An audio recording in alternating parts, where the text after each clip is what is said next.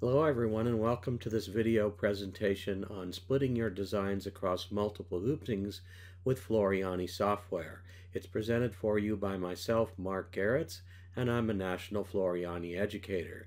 In this video we're going to be covering both software techniques on how to use the hoop splitting wizard and we're also going to be covering some stitch out techniques and alignment techniques in the actual hooping process. So let's go ahead and get started with the software section of splitting designs from multiple hoopings. To do that today we are going to use Floriani Total Control U. That's our main embroidery design software, but we do have some other products that support hoop splitting and they work in an identical fashion. But like I said, today we're going to use Total Control U.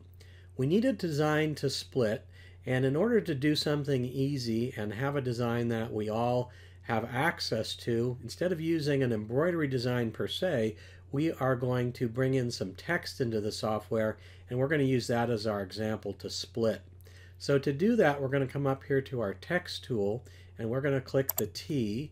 We're going to come and click our second T for our normal text mode. Come down somewhere into your design window and simply click to bring in the default text of my text. Now normally we change this into some text that makes more sense, but today we're actually going to leave it as my text. But I want to make sure that we're all using the same font and the same size. So come over here to our properties box and if you're not on it, change to solid 2. So go ahead and click the drop down, change to solid 2. And we're going to change the size of this to 1 inch high. So go ahead and click a 1 instead of the 0.79 and click apply. And that's going to make our text 1 inch high, but it's going to make it 6.07 inches wide. Now we're going to use a 4 inch by 4 inch hoop today to do our splitting with and obviously 6 inches is not going to fit in a single 4 by 4 hooping. So the first thing we need to do before we start our hoop splitting wizard is we need to actually select the hoop that we want to use.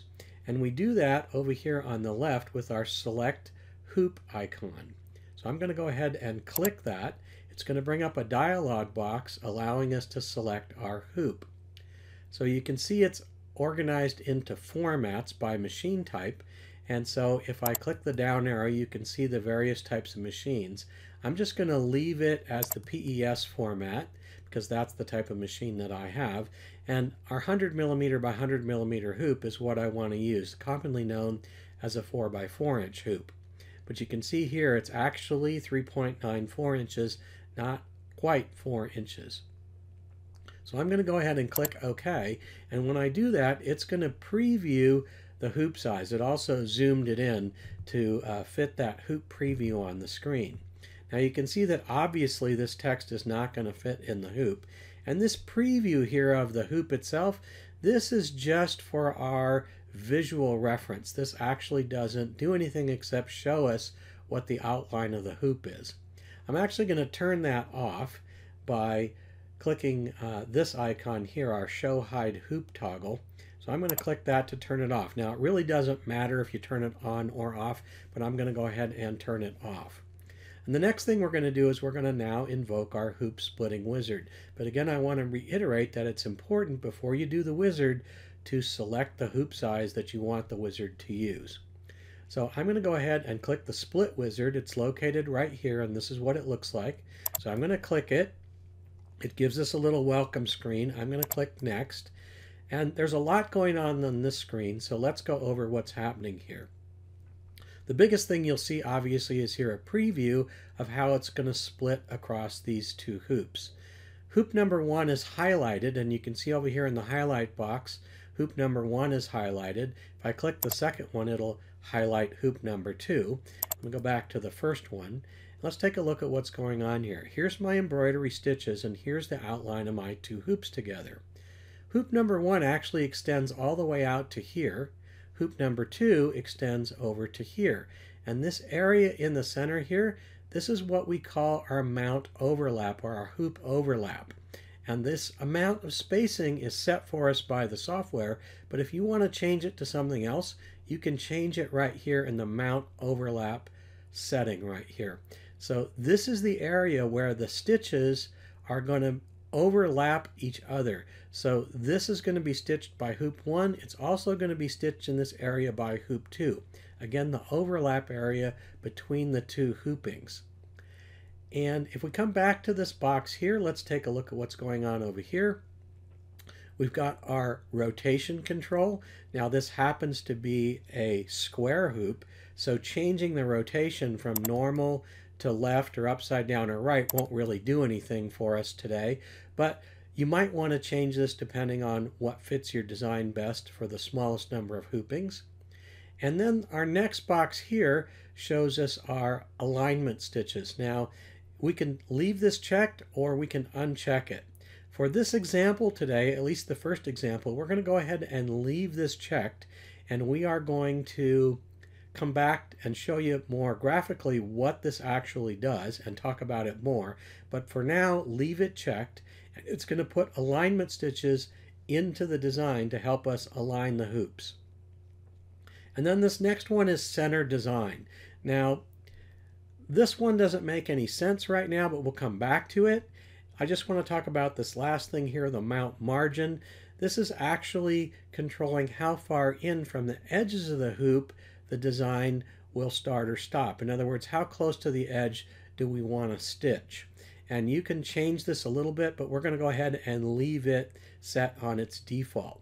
Now let's come back to center design. Why is that important? One of the cool things about this is that right now you can see that the design is going to split right in the middle of this T.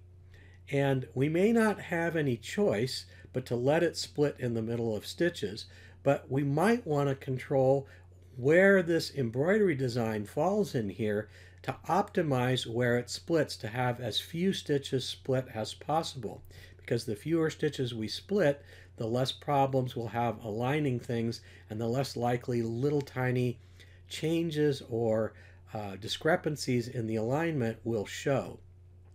So we can actually click on the embroidery design here and move it around, okay? So I could move it over here so that the T is not actually in the overlap area and not over the edge of the hoop. I can get it right there on the edge and I could actually stitch this out without putting anything in the overlap area. That way, again, if there's any little discrepancies in the way I've got my hoops aligned, it's not going to be as obvious.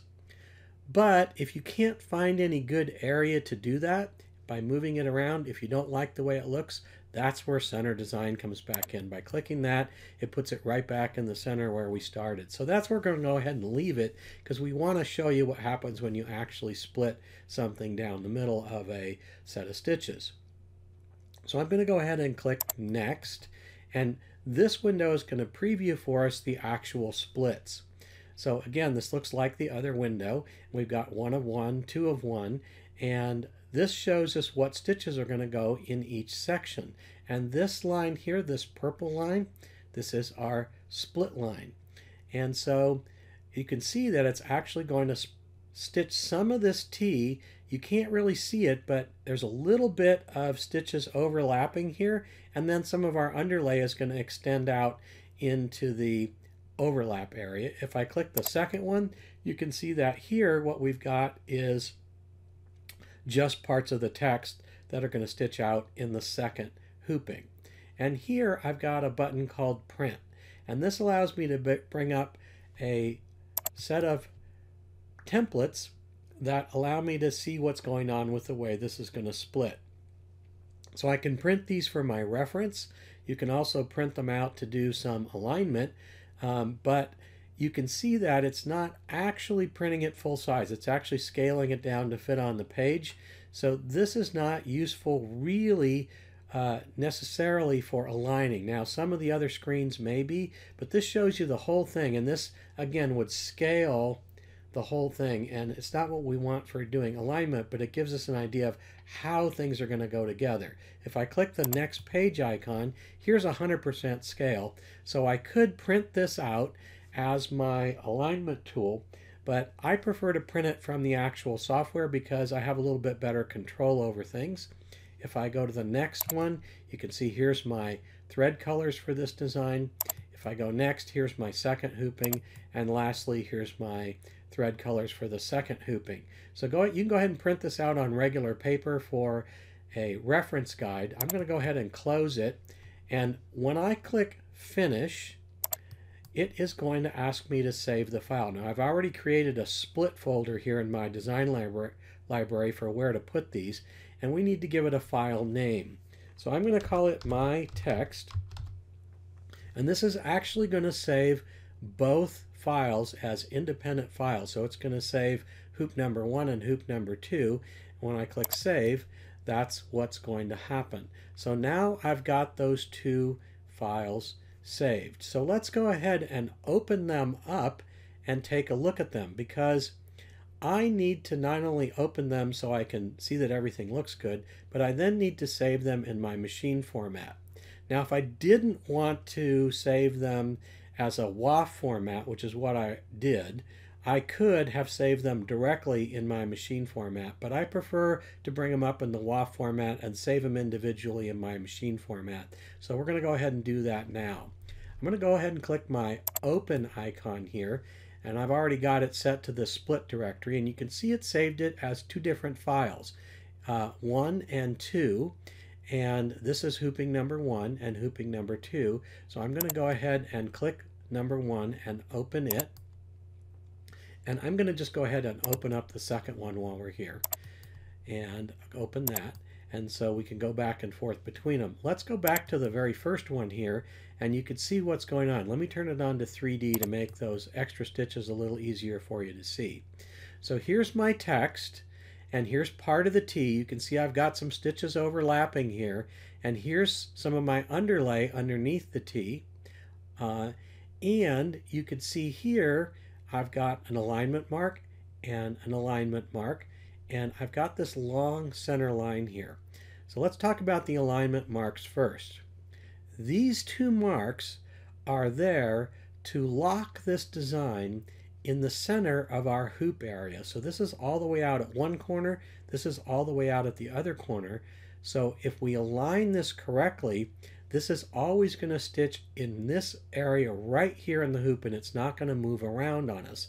And that is going to be important when we get to the actual stitching instructions as you'll see. This line right here, this represents our split line. So these two lines, these two marks right here, they're also going to be in our second file. However, you cannot line this mark up with the marks in the other file, otherwise your designs will be on top of each other. So that's not what these alignment marks are about. The alignment marks are there to align it within the actual hoop not with the next hoop. Aligning it with the next hoop is what this split line is helpful for. But we're actually going to hope that the split line actually ends up in the right place and we're going to use it as a reference guide to make sure it does when we do our stitch out. But these are going to take care of getting it in the right place for us. This is going to show us actually where to align the second hoop to the first hoop if we need to actually do it visually. So let's take a look at the second hooping. Let me also turn that to 3D. And you can see I've got the same alignment mark here. And here are our two alignment marks. So this is our split line and our alignment mark. And you can see that the split line is right up against the edge of that other hooping.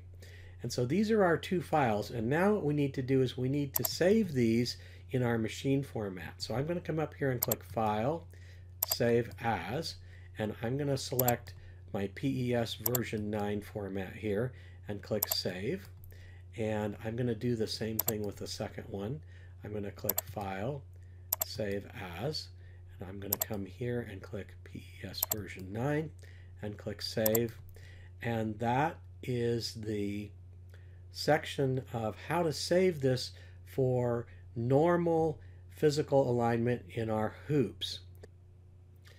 Now before we get to the actual stitch outs, there's uh, one other thing that we need to do, and that is that we need to print some templates of these designs, and these are going to be crucial for us to line the designs up in the hoop. So to do that, you want to come up here to your print icon and go ahead and click the print preview icon. And I should say that it's important before you do this to go ahead and load into your printer some of the template tearaway material. So we're going to print two sheets, one for each hooping. And again, this will depend on how big your design is. You may have to uh, tile it, split across multiple sheets, etc. But let's go ahead and take a look at our settings because it's important to make sure that these settings are set right to get this to work. So click the settings right here in the print preview window. Main thing that's important is right here print actual size. If that's not checked, things are not going to work out right. Probably don't want to show the hoop. You definitely need to show the crosshairs. Now, I like to use the thin crosshair for this, but if you can see it easier with the thick crosshair, you can click that. Make sure you got stitches uh, mode turned on. And uh, if you want to have color analysis clicked, you can. Do not do print in one page. But let me come back to color analysis. This is going to print a second page with all the colors on it. Now, normally when I'm embroidering, I do print this page. I've already printed this, however, in my other print preview, and this is what I'm going to actually use to print my templates. And I'm going to put two sheets of template tearaway in my printer, so I don't want this second page to print. So this is actually going to print it on one page for me. All right, so this is how I want it to be set up, and I'm going to go ahead and click OK. And next, I'm going to just go ahead and print this right here with my print dialog. So if I click this, it'll print out the two templates. So we want to print this one, and we want to repeat this with the second design. So we have an actual size template showing not only the design, but more importantly, these crosshairs and our alignment marks and our split line coming out on the page. So before we get to the physical part of lining things up in the hoop, just a few comments. Do not run save to sew on the files that you created with the split wizard. If you need to run save to sew, run it on the original file before splitting. Save it in the WAF format, then open it up and run the split wizard. When lining up your printed templates, satins and fills may not match exactly. That's because of the push and pull of the thread, and what's been stitched will be a slightly different size than what's printed. Instead, you want to use the split line to align one design to the next, and since that split line is a run stitch, it's not going to be affected by push and pull compensation. So some of the materials you're going to require before we get started is you're going to need some Floriani template tearaway. That's design placement paper with a sticky back, and that's real critical to this process. You're also going to need some R&K Stitch Perfection tape in the quarter inch width and that's our double-sided sticky tape. And you're also going to need that clear plastic template that came with your hoop. And we're going to use that for positioning. If you no longer have that template or your hoop didn't come with one, uh, you're going to want to create one. And you can do that with some clear plastic template material you can get from most fabric stores.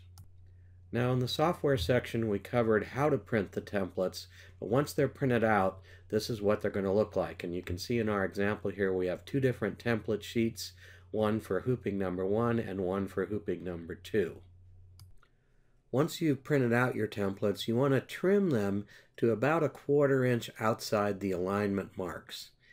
And the alignment marks are the ones that are in the two opposite corners.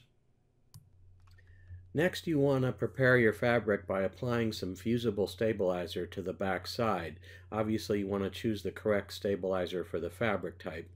You want to use a piece that's big enough for the entire design with enough extra to overlap the hoops by at least an inch or two. Don't put individual pieces for each hooping, you want one big piece. And it's important to use fusible stabilizer because fusing the stabilizer will keep the fabric from stretching while we hoop it and it'll help prevent misalignment and it makes hooping easier overall. Next you want to apply the printed templates to the fabric and we're going to use this to position the entire design but you want to concentrate on getting the first template in the correct position. The rest of them can just be eyeballed and you don't have to line them up perfectly. Just make sure that you can fit the whole design where it's supposed to go on the fabric and you don't even have to stick the other ones down. Just uh, concentrate on getting that first one positioned correctly and then finger press it down in place. Next we're going to prepare our inner hoop by applying four pieces of R&K Stitch Perfection tape to the bottom side of the inner hoop as shown in the picture here. You don't have to go all the way to the edges of the hoop, just about a two inch piece in each side or bigger depending on your hoop size, uh, just to make sure that it sticks down in place. Press them down real good with your fingers to the plastic of the hoop, and when you've got that done, then go ahead and remove the release paper from the top. Next you want to place your plastic transparent hoop template into the inner hoop and then you want to carefully lower them both into place lining up the crosshairs on the printed template with the lines on the clear plastic hoop template. You want to reposition this as necessary until you get it perfectly lined up and when you do then you want to press that hoop down to the fabric to lock it in place. Like we said before, this inner hoop is now locked in place. And you want to then position your outer hoop underneath and press the two together, taking care not to shift the inner hoop. Using your hoop template again, double check the alignment and then reposition as necessary. You might have to unhoop and move it around. When you've got it all perfectly positioned, then go ahead and remove the plastic hoop template and the printed template from the fabric. Now we're going to embroider the first hooping and you want to of course start by loading the first split design into your machine, attach the hoop to the machine, and stitch out the first design. Note that it's not necessary to stitch out the alignment marks, so you can skip past them in your machine, and usually you do that by advancing either stitches or by thread color. But remember that you do need to stitch that split line. Next you want to take the fabric out of the first hooping and next we're going to apply the second printed template to the fabric. Aligning of this template is critical to the success of getting everything lined up. You want to concentrate on getting the two split lines perfectly aligned on top of one another, both horizontally and vertically. So you want to make sure they're the exact right positions. Now, as we said before, the actual printed part of the embroidery design may not match to what you've just stitched out because of push and pull compensation, but that split line you should be able to match up perfectly because that run stitch won't be affected by push and pull. So again, very critical to success to get this piece of template tearaway lined up exactly. On your hoop, you may want to replace the stitch perfection tape if it's necessary, you know, if it's not sticky anymore, if it came off. And then you want to place your hoop template in the inner hoop and carefully lower it into place, lining up the crosshairs on the printed template with the lines on the hoop template. This is basically what we did in the first step. The first step was practice for what we're doing now because what we're doing now is critical to success. So you want to reposition this as necessary. And as I just said, careful, careful alignment at this step is critical. If you have any misalignment here, it's going to show up in your final stitch out. When you have it aligned and you're happy with it, you want to press it down to adhere it to the fabric. As before, that inner hoop is now locked in place on the fabric due to the stitch perfection tape and then you want to position your outer hoop below it and carefully press it into the outer hoop, taking care not to shift the inner hoop. You want to use your hoop template to double check the alignment and reposition or rehoop as necessary until you get it perfect. When it is, then you want to remove the hoop template and the printed template from the fabric. Now we're going to embroider the second part, and like they say, this is where the rubber meets the road. You want to load the second split design into your machine, attach your hoop, and using your machine controls, position the needle at the corner by the split line. So use the upper corner first, lower the needle manually, and check to see that it hits the end of the line. Then you want to repeat it with the other end of the line. You'll need to rehoop if they didn't line up, and you're not going to be able to reposition them with your machine controls. So you're going to use those controls on your machine that tell the needle to go to the edges of the design, but you're not going to be able to actually use the alignment controls in your machine to reposition it because of the alignment marks. So it's necessary that you get your hooping in the right place. Again, it's not necessary to stitch the alignment marks so you can skip past them in the machine before you start stitching. And if this is the final hooping, you can also skip stitching the split line. If you have more than two hoopings, if this is the second, then you'll need to stitch that split line. Now you want to stitch the second part of the design, and if you were careful with your alignment, everything should line up like you see here in the example. Just a few more general comments. Hoop splitting takes practice. I want to repeat that. Hoop splitting takes practice. You want to get several practice sessions under your belt until you're confident in your technique. You do not want to tackle a real project as your first attempt at this. Now, if you have a machine that has advanced placement devices like a laser, a camera, etc., feel free to take advantage of them, but be aware that the alignment marks that we put in in the software steps are going to keep you from positioning the design in the hoop using the machine's controls. So we're going to go back to our software now and show you what you need to do to get that positioning ability in your machine back. So welcome back to the software section. This next section is going to be for those of you that don't want to do the hoop alignment that we have just described. Instead, you either want to do it completely visually, say if your machine has a camera, or if you want to do it by using the needle drops in your machine and positioning the design using the machine rather than positioning the design using the hoops like we did.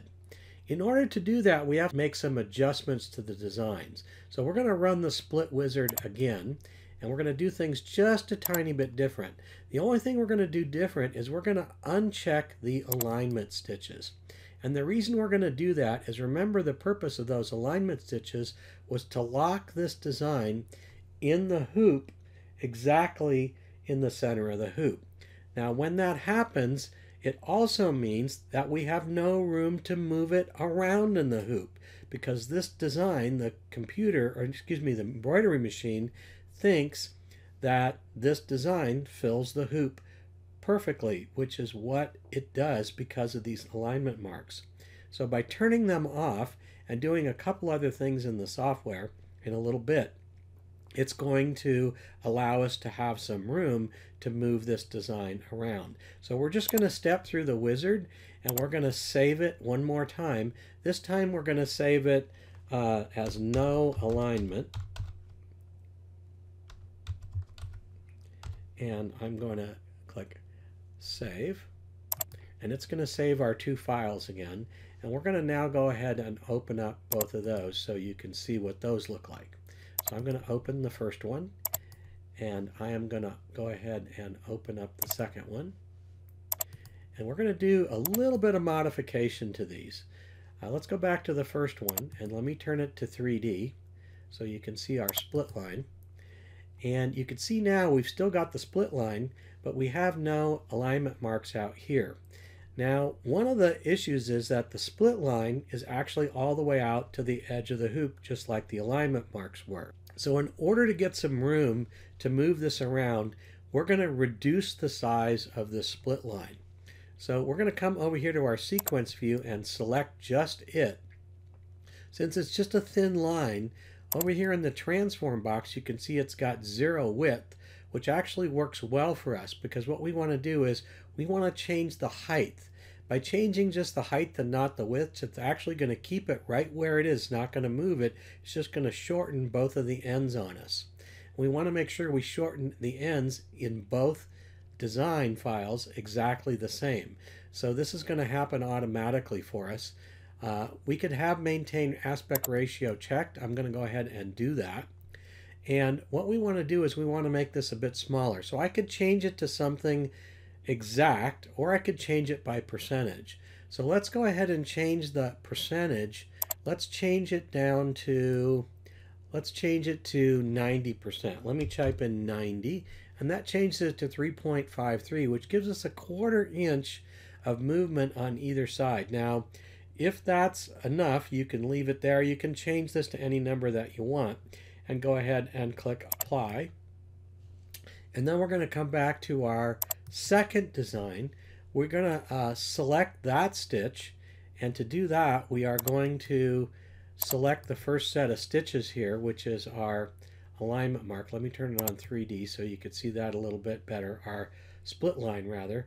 Okay, and we're also going to come here to our transform and we're going to change that to 90%. So we're going to go to 90% on that and you can see it changes to exactly the same height and go ahead and click apply. And now we just have a little bit shorter line although it didn't move horizontally. So it's exactly where we need it to be for lining up, but it actually gives us some margin at the top and the bottom to move around in the hoop.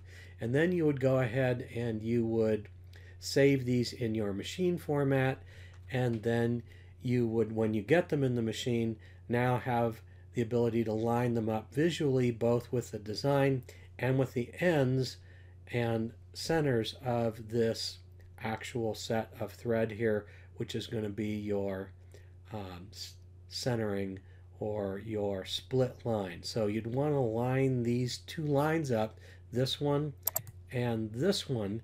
And when you did that, that would ensure perfect alignment in your hoop. Again, this is what you want to do if you're going to align it visually or by using a needle drop here and a needle drop here rather than using your hoop alignment and your hoop grids to line it up.